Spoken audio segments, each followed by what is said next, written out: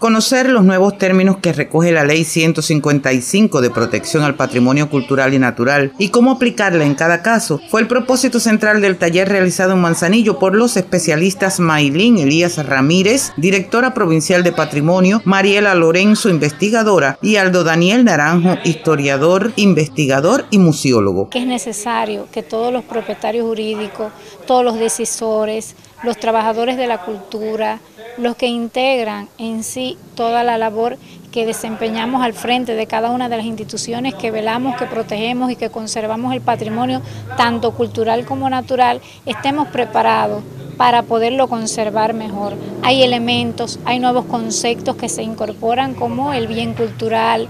cómo eh, se incorpora además en este momento, ya tenemos la posibilidad de crear las salas museológicas y los museos privados. La ley 155 de patrimonio entró en vigor el 7 de marzo del presente año y es catalogada por los especialistas como muy moderna con 200 artículos y 405 para su reglamento, lo que requiere un estudio profundo de los aspectos regulados. En los territorios se hará un nuevo estudio en cada institución para clasificarlo por sus valores del 1 al 5, teniendo en cuenta su integridad, originalidad y atributos arquitectónicos. Manzanillo tiene mucho patrimonio mueble, tiene muchos bienes culturales que tiene que, conservar y siento que tiene que ser una premisa para todos los manzanilleros en eh, seguirse preparando e iniciar nuevos proyectos tanto con empresas estatales como no estatales para iniciar la conservación de este patrimonio, ya sea en conservación o en restauración,